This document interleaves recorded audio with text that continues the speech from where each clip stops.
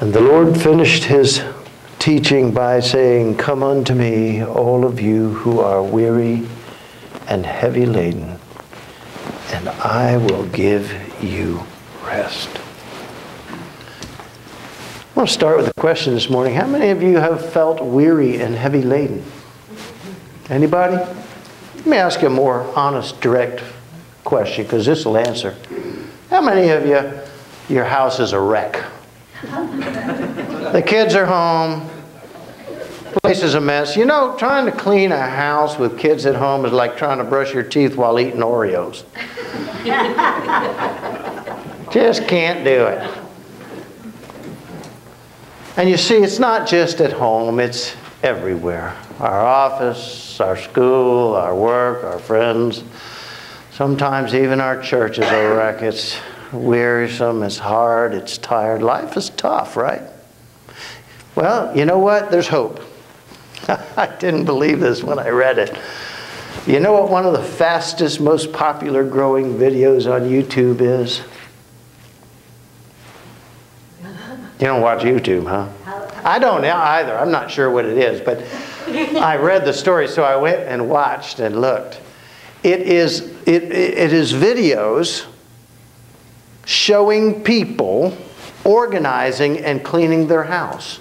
I'm not kidding you. Most popular, most popular videos now, right now, growing in popularity. People just sit in their house, which is a wreck, and watch others clean and organize their house. How to organize your spices, how to organize your kitchen, how to organize your bedroom, how to put your towels and sheets and underwear, all, you know, just fluffy in the right place. How to do all this stuff, and people sit there and watch it, kind of like you guys. You sit and watch uh, the cooking channel forever, but you never get up and make anything, do you? You just sit there and watch it. One of these days, I'm going to make that, you know. You started watching it when you were 17, now you're 75. When are you going to make it? One of these days. And they don't know why it's becoming popular. This honest goodness truth in this, in this article. They don't know why it's becoming most popular, but they think it's because of the chaos and the, and the craziness in our life in general.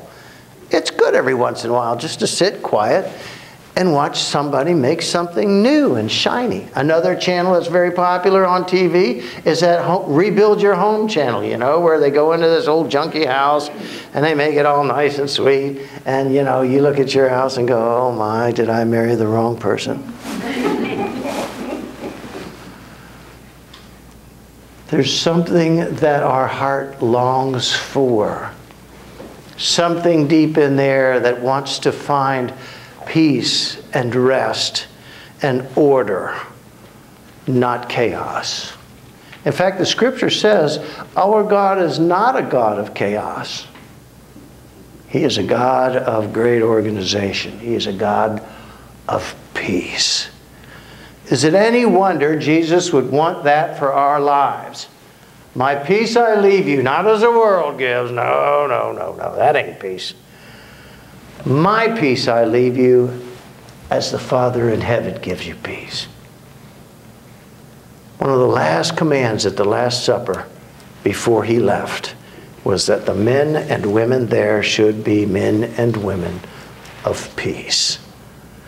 So this morning, the challenge scripture is when Jesus, at the end of a very difficult sermon, says to his, his men and women, the disciples and the crowds around him, Come unto me.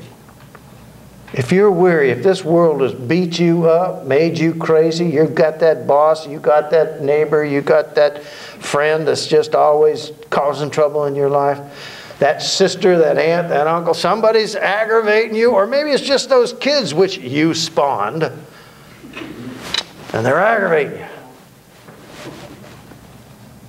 Come unto me, and I will give you peace. Those of you who are weary, heavy laden, and I will give you rest, and I shall give you rest even for your soul. That's some good rest there. We're going to talk about that in just a minute. I want you to stand up one final time, stretch your legs. We are